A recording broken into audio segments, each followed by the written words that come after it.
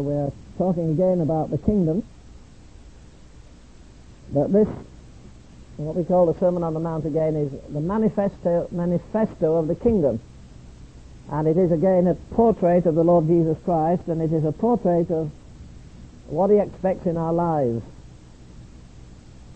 Some people say it's out of reach. For instance, the statement, blessed are the pure in heart, for they shall see God, that this is not realistic.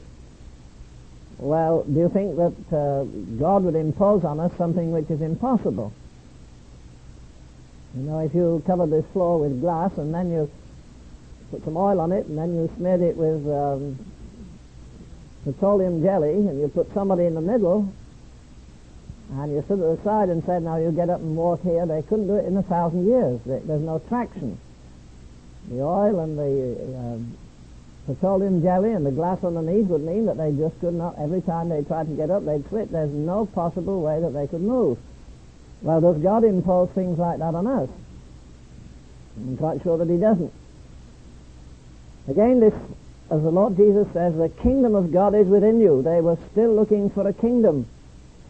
And I remind you again that even after he taught them for three years and they'd seen everything and heard everything it was possible for them to hear from him, and yet just before he departed, and, and he said he would come again, and they said immediately, will you set up your kingdom? They still wanted a kingdom. Because every other kingdom obviously is a visible kingdom. This kingdom is an invisible kingdom. Every other kingdom has a visible king wearing a crown, having his entourage, and he has his, uh, usually his castle, and he, he, he displays wealth and power. He has armies, he has other things to impress and show you that he's the head of the pile, he is the king. And Jesus has nothing of the kind. He has no crown, they gave him a crown, a thorn, but he has no other crown. He has no dignitaries following him. Everybody he has with him is uh, without any social standing, really. Fishermen and tax gatherers who are despised and still are. And uh, lots of people of that caliber, but he had no distinguished people. And again, it, it's so different when you uh, visualize the, the setting up of the first kingdom, if you like, in the Ten Commandments. You remember that Moses was allowed to go up the mountain. And uh, you can visualize the mountain. I kind of visualize it this way, that here, here is a mountain peak, uh, put it up like this. But the mountain is shrouded in, in cloud and vivid lightning. And here you have Jesus on an ordinary kind of a small little hill, a mount sure enough. But here, this is ringed off. This is F, we'll say, excuse me, F for forbidden ground. Uh, Hebrews says even if a beast went in there, it died. This is sanctified ground. This is holy ground. This is God's majestic presence and power and authority and dominion. And if you come in here, you're going to be in trouble. You know, you get a, a classical example of that in the case of King Uzziah.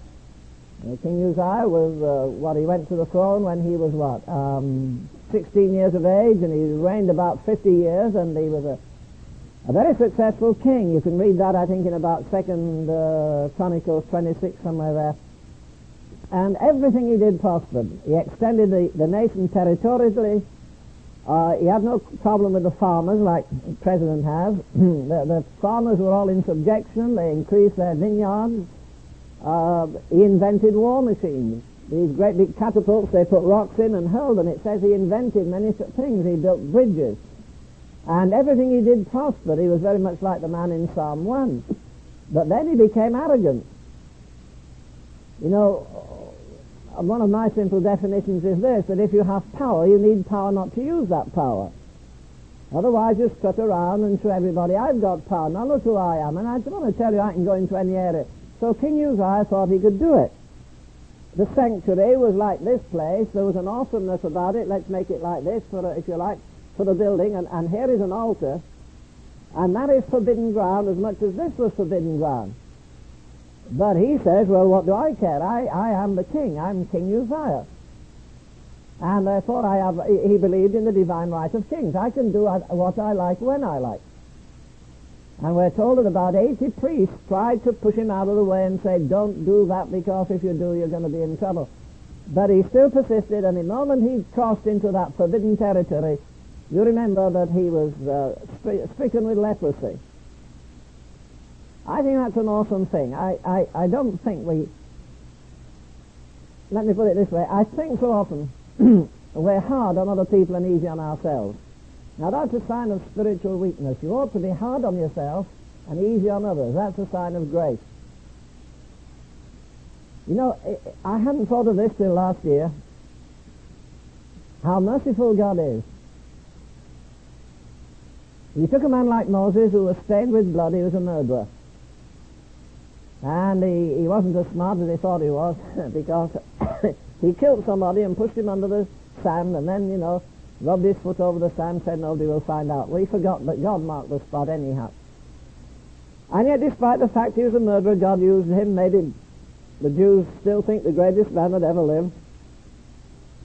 He was a marvelous man. Uh, where? Seven. Read the seventh chapter of Acts, not now, but later. and uh, you, you get a wonderful description of Moses because it says he was learned in all the wisdom of the Egyptians. He was mighty in word. Now, that doesn't mean he was an orator. We think a man is mighty in word when he's a great orator, you know, and he displays all this stuff, whether he's an evangelist or a politician. He has to show you his, his might of words, the strength of his vocabulary and everything else. But it says that Moses was, Moses was mighty in word, but, but, but he couldn't talk. How do you know? Because it says he stammered. He didn't want the job. I guess some of you are really fry, uh, uh, longing for leadership. Well, if you are, you're very stupid. That's the last thing you should want. I have never sought leadership in my life. It, it's too awesome.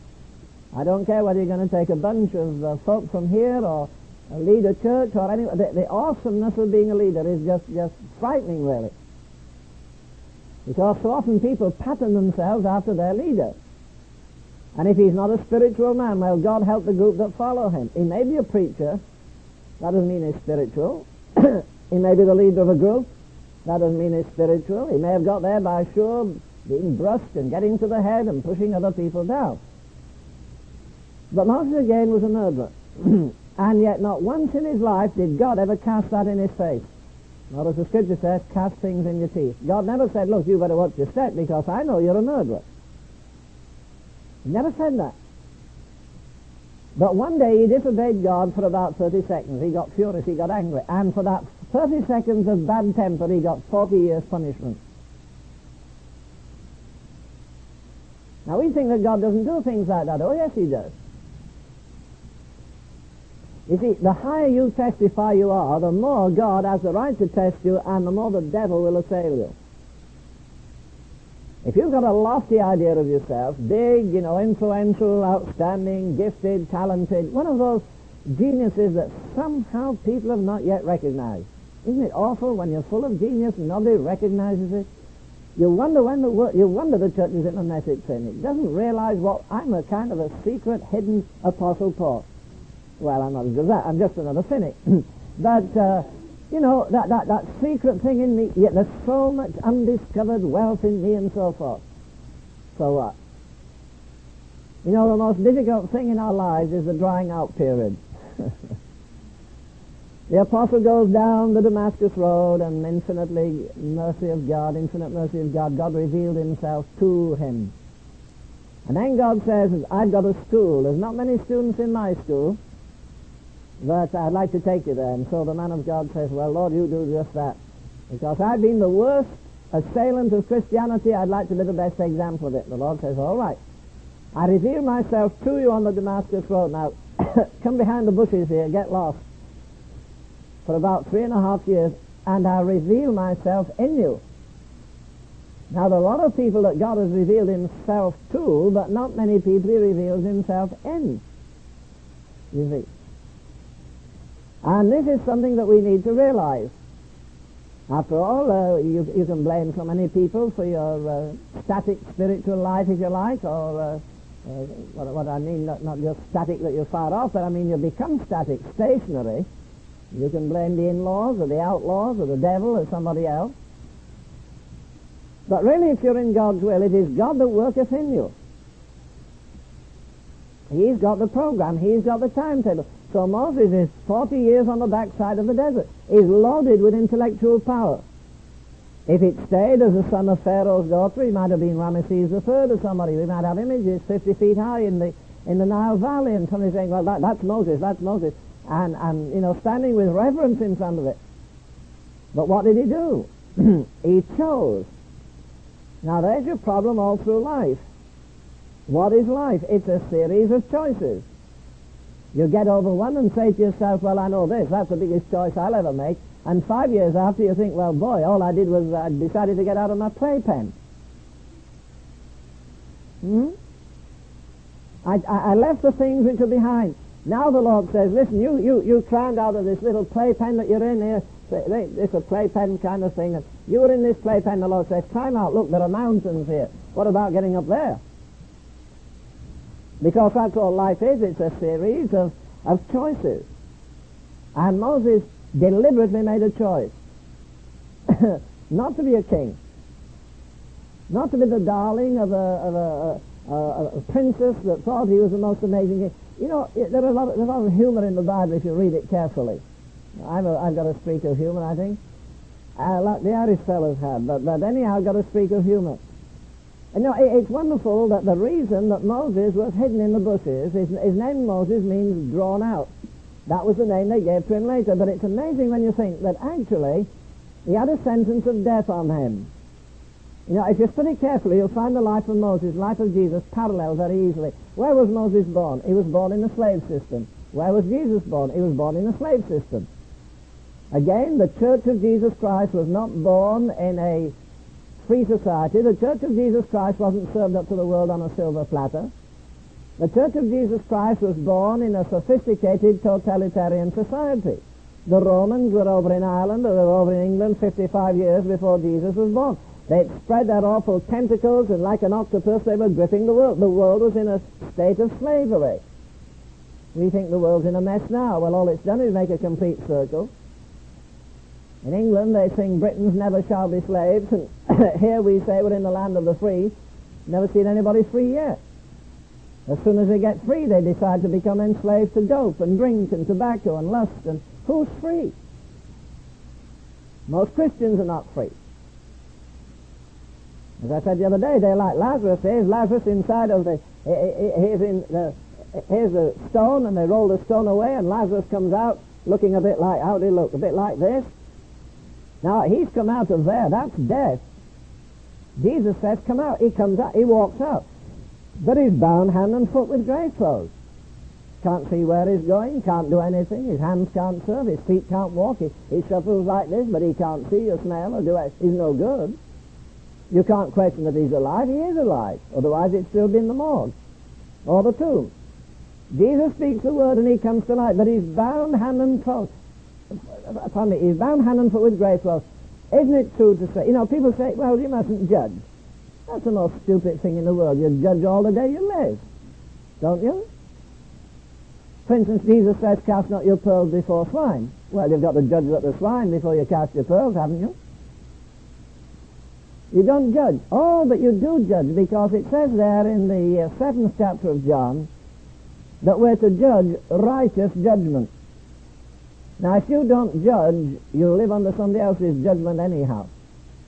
But God has given you the capacity, not only intellectually, but spiritually, to discern between good and evil, right and wrong, and so forth and so on. Moses is taken to the backside of the desert. Moses chose to suffer, suffer affliction with the children of God. Rather than to enjoy. Why did he do it? Because there's a little thing that occurs about twice, I guess, in the epistle to the Hebrews, 11th chapter. What did he do? I don't know how he came to the conclusion. I don't understand it, but I'll tell you what it says. he chose rather to suffer affliction with the children of God, hmm? considering what? The reproach of Christ greater than all the treasures in Egypt? How did he know about Christ? Well, that's what the book says, and I take it. So again, life is this, you see. Are you going to jump into that which immediately looks the most profitable, even in Christian work? There's a story about a little fellow.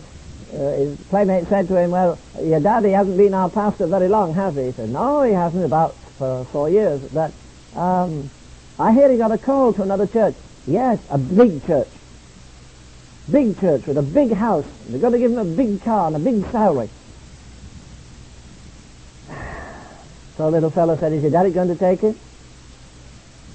He said, well, daddy's praying, but mother's packing. Why not? It's a bigger church with a bigger income. You know, one of the greatest men that ever lived in England never had a large church. He's a man by the name of John Fletcher. John Wesley said he was the greatest saint that had lived since the Apostle Paul. He lived in a place called Madeley, Shropshire. And they said when he went past the, ta- past the tavern, men would take off their hats. And they were half drunk, they'd be there by the wall, and they'd say, there goes the man that loves our souls. John Wesley said he was the most holy man. he believed that had lived since the days of the apostle. He's a very profound teacher. He, he, he wrote a thick volume of, of uh, checks to antinomianism. You should get it make your head ache a bit, but then it's, uh, it's worth reading. We need mental challenges. We need spiritual challenges. But this godly, saintly man, and it shows you again, you see, that it doesn't matter how smart you are, and you may be very smart, you may be very holy, you still make mistakes and misjudge. God will share a lot of things with you. He'll share His love. His love is shed abroad in the heart by the Holy Ghost. Um, he'll give you power, the power of the Holy Ghost coming upon you. He'll give you wisdom. He's made unto us wisdom and righteousness. But there's one thing he'll never share with you, that is his glory. And another thing is he, he'll never share his infallibility. We still make mistakes. They're good for us sometimes to make mistakes. And John Wesley said of this godly, saintly man, the most saintly man he'd ever met, he said, you know now, I can die comfortably. And I'll hand the reins of Methodism over into the hands of John Fletcher. But one day John Wesley stood at the grave of John Fletcher. And Wesley lived about 30 years after he buried John Fletcher. When somebody said to Wesley, Mr. Wesley, you're grieving that your wonderful friend has died. he said, yes. This person said, well, don't grieve. Why not? Well, you're going to be with him in eternity forever, aren't you? And he, he, he put it like this. He said, well, I'll tell you. This is what I think. If you describe this as eternity, this, this, this way as eternity, and here is the throne of God, he said, John Fletcher has graduated, in my opinion, to be round there with the apostles, that he said, J.W., John Wesley, will be so far away, I'll only see the reflected glory of Christ in the face of John Fletcher. Now that's quite a statement, isn't it, by a man that we think was one of the greatest men, at least I think Wesley was one of the greatest men ever. But you see again, he esteemed this holy man, and, and though he wanted to hand over the reins of the great flourishing Methodist Church, God said no.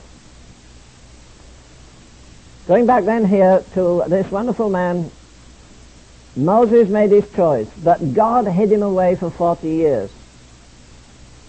I don't know the answer. Let me tell you again. I don't know why. One day I will. Excuse me. In the Old Testament economy, a man could be a soldier when he was 20. Because he didn't need brains then or now to kill anybody, so you could be a soldier when you were 20. I take the view of the precious Quaker friends. I don't think Christians should fight. We're supposed to live as Jesus would live. That's what the Scripture says. Doesn't matter what your theology is, the Scripture says that we should do what Jesus did.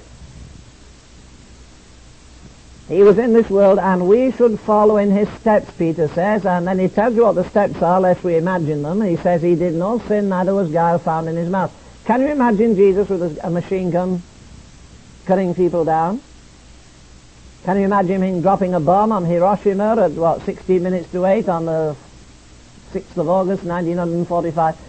Can imagine Jesus liquidating a city and sending, uh, I don't know, thousands of people to destruction? A man came to our church when I was pastoring in Bath, and he was a, a high Air Force officer. He came to me one day and said, Brother Ravenhill, I'm going to have to quit in the Air Force and I'll have to go to jail. He said, I can't lie on my belly, I can't guide a plane and press a button and drop a, a bomb on uh, well, I say Dresden or Hamburg in in, uh, in Germany, And when that bomb goes down, say, maybe I killed, uh, I destroyed maybe 30 prayer meetings tonight. I, I, I cut them off. I can't do it. And he went to jail. I visited him in jail for a long while after that. The church has been so far back from this Sermon on the Mount. You see, again, if God is going to get the best out of us, there has to be a hiding place for all of us. Again, a man could not could be a soldier when he was 20. He could not be a high he could not be a priest until he was 25. He could not be a high priest until he was 30. Now you find the answer to this. Nobody's ever given it to me. Jesus did not minister till he was 30. John Baptist did not minister till he was 30. The Apostle Paul was more than 30. So was Moses. Moses was in school for 40 years. We think we're washed up. I'm not 80 yet. I'm getting up there, but uh, I don't think I'd like to start my work for the Lord at 80. But that's when he started. You see, there's no timetable. You can go to a Bible school and they put you on the assembly line, you come off, you've got the same notes that 10,000 other students have in the country, you've got the same diploma and about as much vision, as much passion maybe, because they become mechanical. There is a hiding place. I used to talk, talk very often, just Dr. Tozer and I, and he'd tell me about the days when he was a youngster and how he lived on a, a little farm up in the hills of Pennsylvania. He never went to Bible school, never went to seminary. Wrote some of the finest modern literature that we have on the spiritual life. But he did all his digging there in the Word of God. He read the mystics, he read Madame Guyon and the Ladder of Sanctity and the Cloud of Unknowing and all those other wonderful, wonderful books that are hard to read, but he read them taught himself a little Latin, taught himself a little Greek. Without any aid, but he did all that spade work. The thing is, he came up not as a copy of a copy of a copy. You know, there's a, there's a, there's a saying amongst artists, you never copy copies. Somebody once painted a picture and then they let somebody else copy it, and they passed it on and they copied from the copy who copied from... And when he got to the end, the, the picture at the end, when 20 people had done, was nowhere like the picture at the beginning because they hadn't copied the original, they had copied copies. Now, I don't know whether you've got so far in your spiritual life that, like the Apostle Paul, he says, You be followers of me, even as I am of Christ. I followed so closely, I've obeyed him so implicitly that if you follow, well, I'm willing to take the responsibility, as it were. When I get to the judgment, I set the standard. Here you are, you follow me, and you'll be okay. Everything will be great for you in that great day. Now, how many preachers dare say that, or evangelists, or teachers, or missionaries? How many dare? We say, now, don't look to me. Why not? Why not? As I say, I, I, I like to do a little sketching now and again. Don't get time to do it, but I, I used to like to draw eagles, and I've been sketching about a year ago, uh, you know, drooling, thinking of things, and I sketched an eagle. Somebody came in my office and said, well, uh, oh, I like this bird. I said, yeah, uh, it's a nice sketch. I said, oh, do you know who did it? I said, yes. Yeah, I know who did it. Oh. Who, well, could I get one? I said, sure, take that one. Don't you want it? I said, no, I did it. Oh, well, sign it for me. I mean, I want to put it up in my office. Sign it. I said, not on your life. Not if you give me $10, I won't sign it. Why not? Because I'm rather disgusted. It's not quite proportionate. I've done it uh, spasmodically. It's not really symmetrical that I can see faults in it. Well, I don't care. Oh, but I care. Because you see, you stick it on the wall of your office and say, Ravenhill did that. Well, look, I want to tell you this. That. No, no, no, no, no, no. No, no, no, no, no. Now you do a little homework and at the end of every day ask yourself if God can autograph your life. Because it says we are His workmanship. What has He been working in us? What has He been working out of us? You say, well, I'm busy doing this. No, no, no, no, no. Come on, come on. Get your priorities right. Number one, you're to represent Jesus Christ every breathing moment that you have. Not when you feel like it, not when you get the chance to show off, a, you know, a, in a conference or sing your life out before a crowd or preach. No, no, no, no, no. Come on. Do, do you know when we're most true to ourselves? In my judgment, this is almost philosophy, I'm sorry, but I'm going to say it anyhow. Do you know when we're most true to ourselves? In our unconscious moments. When we're not putting a show on, when somebody catches us like that. Sometimes we've gone to a home, the ladies come to the door and say, oh, I didn't know I wouldn't have had these curlers and this and that. I say, oh, that's all right. You go to a house and somebody says, oh, oh, oh, oh, I'm sorry, but now listen, everything isn't tidy. What she should have said is, nothing ever is tidy in this house. Like the pastor going to the house, somebody said, go to see so-and-so. They've been to church twice or three times. You haven't been to see them. So he went and the lady, oh, I didn't know. Oh, she said the house is like a pigsty. Come in, make yourself at home. now, she didn't mean it all in the same way, but there it was. It, it, it was usual. It was a pigsty. It was never straight. You see. Our unconscious moments were greater because we put a facade up. We want to do you ever feel you want to appear spiritual? Do you ever get the desire to impress? It's a great weakness amongst Christians. You know, I, you know, I want you to really know I'm spiritual, and we put on airs. I think that hurts God. It's a facade. but I'll say this and finish on this section here, that, that, that, that if God's going to do a great thing in you, He's going to shunt you off somewhere for quietness, I'll be quite sure of that. I get calls and calls and calls from theological students who say, Mr. Ravenhill, I'm leaving school, I've got, I'm going to graduate, but I'm not ready to go into ministry. What shall I do? and I've got a standard answer to all of, for all of them. I say, stick your head in a haystack for six months. A man called me last year and he said, Brother Ravenhill, I heard you preach on Elijah. And he said, just as you said, the secret of Paul, uh, Elijah's life is this. In one chapter, God says, go hide thyself and in the next chapter, go show thyself. As soon as you said go hide yourself, the Lord said that's what you, you know, God has used that in so many, it's not my word, it's God's word. Go hide thyself. And so many young men have said, that's what I've got to do. He said, it was May last year. He said, May, June, July, August, September, I'm booked every night to speak because I need the money to get the rest of the time in school. But I went home, he said, and I said to my new wife. She hadn't had an, an, another wife, but she was a, just a recent acquisition. He'd just got married, and he said, uh, I, I, I, I uh, well, darling, I want to tell you something. I feel that God is telling me to do what Ravenhill said, go hide my head in a haystack. And uh, I'd like to cancel every meeting right till September. And she said, well, I, I, well, do it if this is what God says. So he phoned a farmer and said, I'd like to work for you during the summer till five at night and then quit. And all I ask of you is you give me a bed and food for myself, my wife. I'll sleep in a hay, hayloft if need be. And he said he accepted me. And he said a buddy of a buddy of mine called me. And he said, you know, I've been thinking of what Ravenhill said from Elijah there, go hide thyself. And he said, I think I should hide myself. So he said, well, I'm going to a certain farm, and there's other farms around. Let me ring and ask the farmer. So he phoned and asked the farmer, and the farmer said, well, my neighbour is wanting a man for the summer. he needs some help. And this other man got the job. this young man got the job too, excuse me. And they stayed the whole summer in quietness, waiting on God. I said, what I literally said to him was, go hide your head in a haystack and when you've done your work in the day, come home and sit with the farmer, have your supper, then put your head under a pump and get some cold water on it and get out and be quiet. I hit this thing years ago for myself. I've only seen eagles twice. I think once in Scotland and once over in the um, over in the Rockies. Sometimes where we are down in uh, in Seguin there, some birds come over, and sometimes they say they're eagles. They're Mexican eagles. They come over to spy on the workers or something. But anyhow, they they come over there. But you know, I've never seen eagles in bunches. They fly alone. Only twice I've seen whales. I saw one in mid-Atlantic. Actually, the Queen Mary were on hit away right in the middle. Just, just got it dead in the middle. Got the thing into.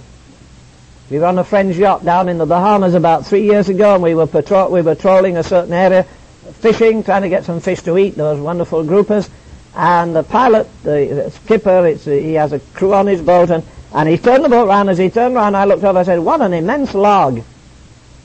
Somebody said, "Log." And I looked at the end, there was a fin. Oh, it's a whale. It was basking in the warm water. It was maybe about seven or eight inches under the water. It looked like a huge log. Lions don't rove in packs when they're hungry. They go alone. The king of the forest goes alone. The king of the air flies alone. The king of the sea, if you like, flies alone. Great men walk alone. You don't get half a dozen John the Baptist, do you? How many Elijahs do you have? Hmm?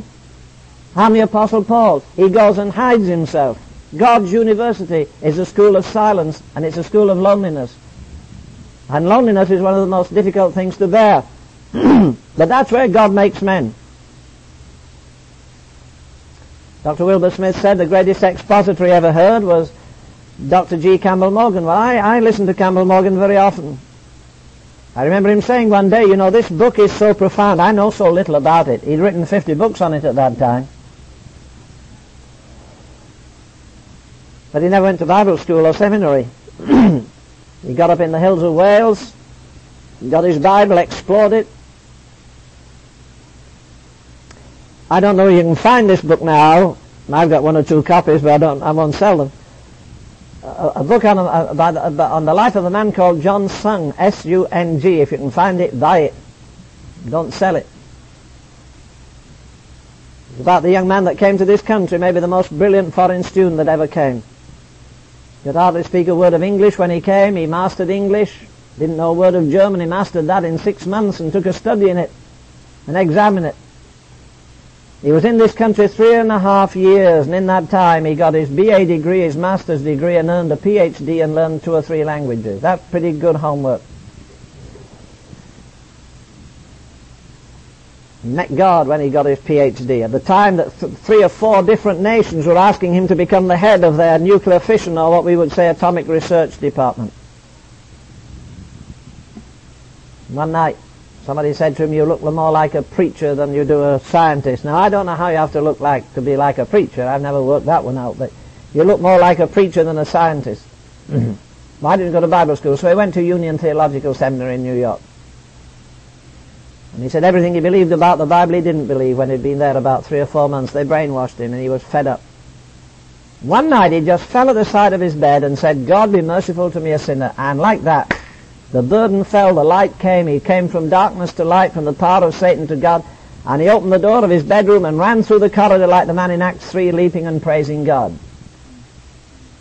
So, being in a theological seminary, they were kind to him. You know what they did? You'd never believe it. You'd think they did it maybe in a brewery or something. They had him certified insane. They took him to an institution in White Plains, a, medic, uh, uh, um, a place where folk go off the rocker, as we would say, and they shut him up. He escaped. they took him back. God said, you stay here for, I think it was 153 days, I'll reveal myself to you. God revealed himself to him. He stayed there for that number of days, and in that time he learned how to analyze a chapter of the Bible in eight different ways.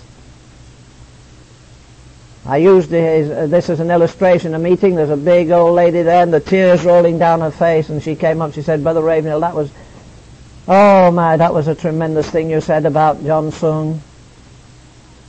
I said, yeah, I noticed you were weeping. Have you read the book? She said, no, but I used to play uh, the organ for him in China in his meetings. And I'm told now that where the church is strongest in China with all its persecution, maybe you were too busy to pray for it this morning, but where the church is uh, strongest in China today, it's strongest where two great men taught. One is Watchman Nee and the other is John Sung, and the other is uh, amongst the very old people where Jonathan Goforth was. But God allowed him to go into a mental institution for all that time, and in it God revealed himself and he revealed his word. See, we, we want it all serving up, don't we? We want to come to a school or go to a seminary and everybody serve it up. Now go out and, uh, you know, you make all the bullets, now fire them. You don't, don't put too much work on me, too much sweat, too much... Well, you can go that way if you want, but it's a very poor way to go. If God is going to take you a long way up, He'll sure take you a long way down. If He's going to fill you, He'll empty you. If He's going to clothe you, He'll strip you. There's very little that's gratuitous. Grace is free, that's true. We're not going to be re- rewarded for grace in eternity. We're going to be we're going to be rewarded for works. God works it in, you work it out. Work out your own salvation. As I tried to say the other night, we're going to be staggered when we get to the judgment seat and see what little rewards many of us are going to have. The first should be last, the last should be first. Some of the greatest people I know in this world at this present moment never come to the surface. They never have any public ministry. Two little ladies that live not too far from here that spent five to six hours a day in prayer. My friend that didn't go to bed any night for 30 years that died not too long ago. Prayed every night for 30 years from 10 o'clock till 5 or 6 in the morning. That wasn't in Finney's day. You see, if this is really, if, the, if these things mentioned here are the clothing of a child of God, and let's, let's, let's think of it right here for a moment. you know,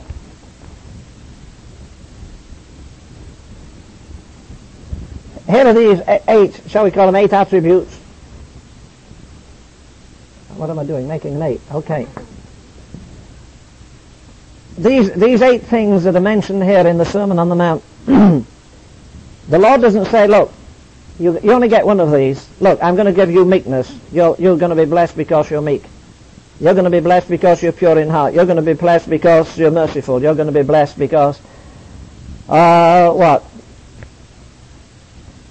Uh, you're poor in spirit. You're going to be blessed. Be- no, no, no, no. It's just like the gifts of the Spirit. It says he gave to one what? The gift of tongues. He gave to another what? But it never says that about the fruits of the Spirit. I've only ever met in my life one person who claimed he had all the gifts of the Spirit. And he impressed me for a day or two until he told me his wife was coming to the conference. And he said, you know, she's remarkable. She has every gift of the Spirit too. I said, oh, I, I, I can't wait to see her. And he said, you know, just last night she called me and said, you watch at noon tomorrow between 11 and 12 o'clock. She was 350 miles away. Between uh, 11 and 12 o'clock, two women will walk into your conference, one in blue. Now watch them, particularly the one in blue. She said this the day before. About half past 11 in the morning, two women came through the door, one in blue. I steered clear of them. I didn't know which world they come from, whether they come from earth or hell or where they come from, so I stayed off. And this man was impressive and the woman. And then the last morning, my darling wife and I were there eating with them at breakfast. And he said, we do have a remarkable fellowship. We have a big house. They were, they were in the atomic research section of NASA. NASA, N-A-S-A, not NASA. Not NASA, NASA. And he was very brilliant. And he said, we, we've worked up a fellowship. We've 70 to 80 people coming in our home. I said, well, it must be wonderful. You've all those people and you both have all the gifts of the Spirit. And he said, yeah, but, well, yeah. We've got three lovely sons, too. I said, oh. He said, that's one of the problems. I said, what, what do you mean it's one of the problems? Well, he said, right now my wife and I have decided to separate. We can't uh, live together. I wasn't interested. It doesn't work out. What good is it? You can have gifts, you can display them almost like a woman displays jewelry. What good are they if the, if the Spirit isn't there? You see, here's a danger. You, you could have some gifts of the Spirit, tongues or something else, and be backslidden and still use your gifts because the gifts and callings of God are without repentance. You've got people going to the big... I, I, I can't get on some conference platform. Not that I want to. I, I don't accept every invitation I get by a long shot. And I certainly don't go to the biggest place I won't be here. Or where I get most money I won't be here. But... Uh, I'm very careful where I go, as the Lord tells me. But I can't get on some platforms. Why? Because my stress is holiness and revival. But I'll tell you men going around this country that can get as much in a week as I would get in a month. And they go to the conference and explain gifts. And they're living with another man's wife. No, they've left their wife and taken another woman. Charisma without character equals nothing. It's zero.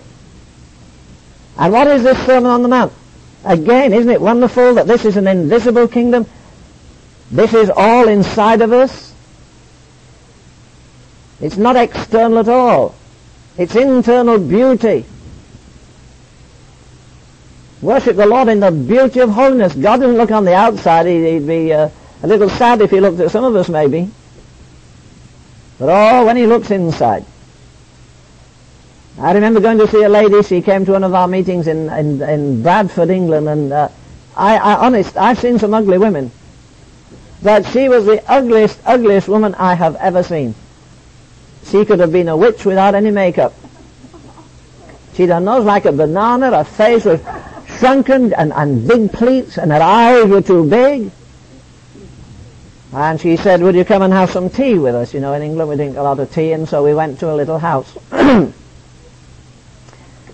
she had one room, and in it she had her little bed. She had the bathroom, all the commode and everything, and at the side she had a little gas stove where she had to cook. She had to cook in there. She was extremely poor, but she was extremely powerful in prayer. And before we left, she said, now, she had a deep voice. It matched her ugly face almost. And, but you know, she said, uh, let's pray. Well, I didn't pray. My other two buddies, they didn't pray. But you know, I'd never forgotten the prayer of that woman. It was one of the most marvelous things I ever heard in my life. You know, when we knelt down, she looked like, a, an old witch. When we got up, she looked like a cherubim as far as I was concerned. Just radiant with God. Just touched God in areas. I just felt she got hold of one horn of the altar, as it were, and had the other on us, and she was communicating life and power and blessing through that frail. You see, again, as a good book says, there are vessels to honor and some to dishonor. When we're in the Bahamas, we stay with friends who are pretty well off, and they've servants, and everything's served up so exquisitely. Big mahogany table, and all the silver is there, and uh, uh, you get all the attention you want or don't want, and it's real style. It's almost like Buckingham Palace, so I've never eaten there. One day after we'd had a very wonderful meal, I walked through in the kitchen, and there's the big coloured lady, and she was cooking, very joyful kind, and I gave her a pat on the back. I said, you gave us a marvellous meal today. Not that they're not always marvellous, but somehow you excel. I think we'd about five vegetables that day, and I don't know what in the world we didn't have. We'd excuse me, papaya and all those wonderful fruits they have down there. And as I turned to go out of the back door, door onto the veranda, I noticed the kitchen sink. And it was piled up with greasy dishes and pans, and I don't know what in the world wasn't there. You know, I suddenly thought, well, one day, why doesn't she take them straight off the burner, you know, and bring them on the table and stick them on the table and say, hey, you hand that pan round like, oh, no, no, no, no. But the only reason you can serve this dish up, this fish is served on a silver platter this length. And all these other things are exquisite. But what about the things that burned on the back stove? What about all the grease and the dirt? She didn't sit down and enjoy the meal. No, I get a lot of help out of that.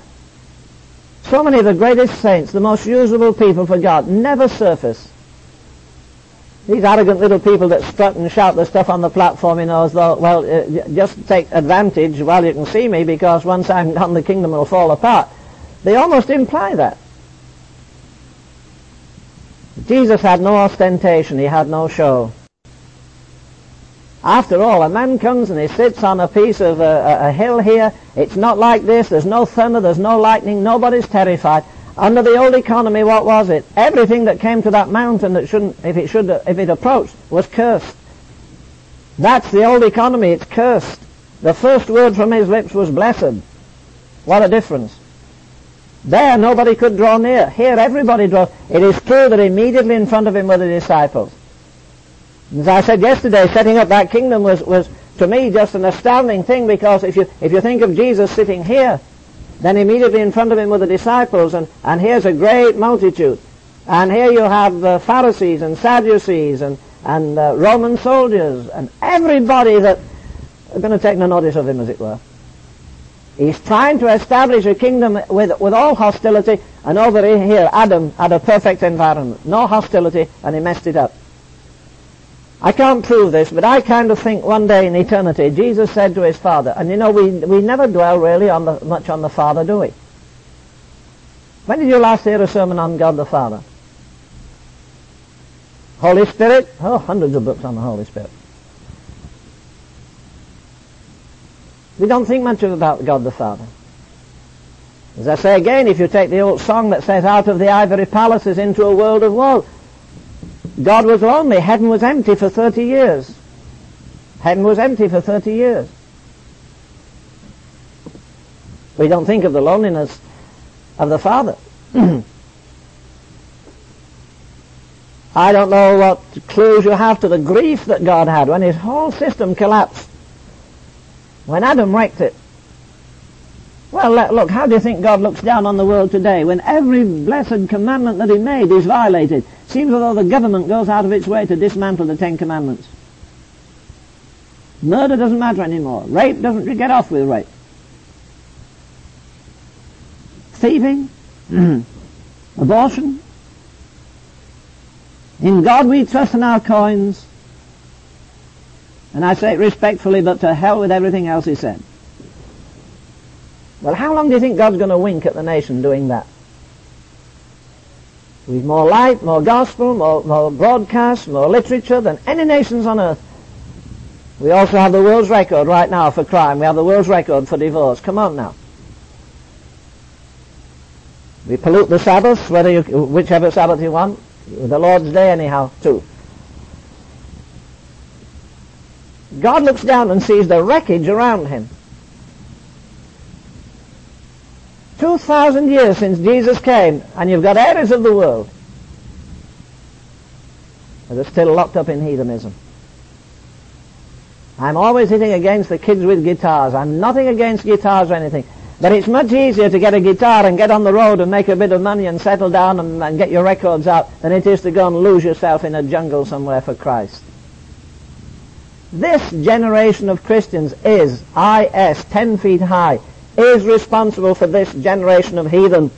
and I remember going up a path in the, in the wilds of Papua New Guinea where people hardly wear a G-string, where there's no, where there's not a shop or a hospital or a school or anything. It's dirt and that's all it is. You go in houses, they're wall-to-wall dirt. It's totally uncivilized. I said I'd like to go over that range of mountains. They said, well, three white men have gone over. Not one of them came back. They ended up in the soup. The cannibals there. Well, do you think the church is going to make it any faster the next 2,000 years than she's done this to? People say, well, well, of course, we're going to saturate the world with TV. Well, good night, those people up there never seen a TV. They, they can't afford a, a, a shirt, never mind a TV. So somebody says, well, look, Mr. So-and-so was telling us he has a TV program in the States, and every Sunday he touches uh, 10 million people. Okay, he touches 10 million. Mr. So-and-so was on, he says he has 15 millions. Mr. Somebody else comes on, he says he has 23 million. And they go on and you hear all these big boys talking. And when you add it all up, say you've got 195 million people every Sunday. That's pure nonsense. Pure nonsense. Why? Because as soon as this man's program goes off, the same 10 million listen to him. When he's gone off, the same bunch. We don't cover more than a few million. We saturate people from morning till night with the gospel. You say, are you against TV preaching? I don't think much to it. I think it's nice for people in hospital and so forth. But are you going to suggest the man that was in a nightclub last night switches on Sunday morning and says, I don't know who to listen to this morning? Hmm? When, when you're away somewhere, do you go into a hotel and then uh, at night say, well, I hope, let's see, channel uh, whether they have the night shows and the strippers. Not you. You don't turn to that junk. Well, if you don't turn to the program of the ungodly, what makes you think the ungodly turn to our programs? By and large, they don't. I still think there is no alternative to going into all the world to preach the gospel. That God takes individuals. Unredeemed men need redeemed men to go and tell them He worked His miracle in me. Isn't that what it's all about? He did it in me. Because he did it in me, as the Quaker would say, he can do it in thee. Well, my time's up.